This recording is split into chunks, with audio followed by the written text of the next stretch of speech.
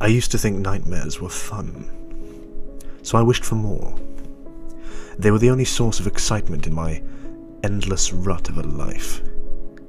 I never used to get nightmares, and for that I should have been grateful. I wasn't.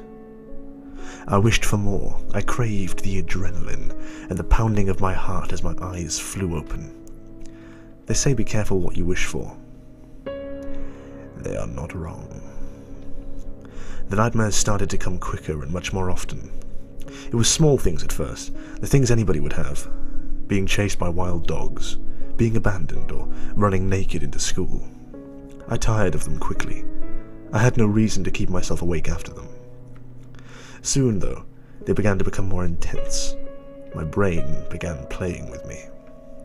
I'd be held down by my throat, unable to breathe, unable to scream, my chest heaving, but no air entering my lungs. I'd be torn at, my skin coming away like butter. I'd be tied down as those I trusted most sliced into me. I began to dream of hell. Then I'd wake my eyes not quite focusing on anything in my small box room. The purples of my cushions would merge with the cream of my wall, and the giant teddy bear that sat in the corner would blur. But I could breathe.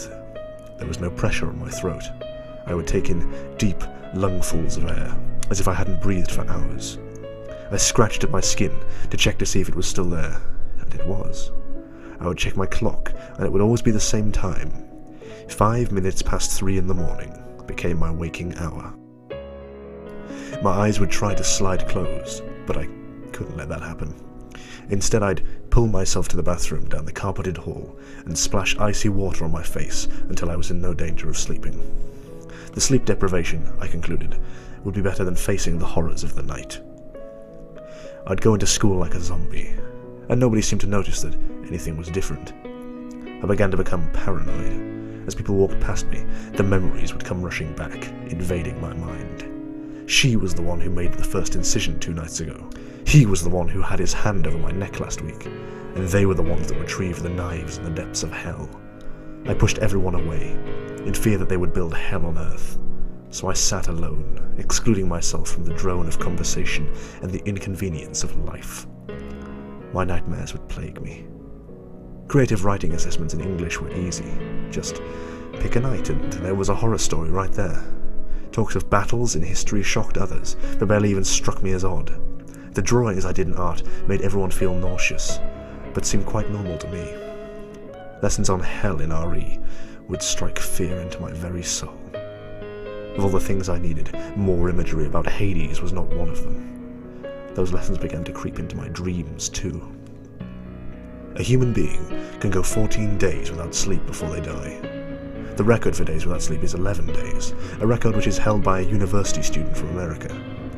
My record is 5 days. I started hallucinating so horrifically on day 5, I couldn't take it anymore. The susurrus whispers began first. Those voices assuring me I was crazy, that I was worthless and doomed to be ended by my own mind. Next, it was the high-pitched, sempiternal squealing. It sounded like nails running down a chalkboard, or a knife scraping against a plate, only twice as high and five times as loud. Then, inanimate objects began to turn clinquant. The spots of brightness emitting from plants and pictures blinded me. I knew these were merely chimerical, but can a schizophrenic stop having hallucinations? Neither can someone suffering with extreme sleep deprivation. I decided to suck it up and face the monsters every night. I've been sleeping well. Well, when I say well, I mean I've been getting six hours sleep a night. That's why I know I'm not hallucinating when I see the dark figures in my bedroom at night.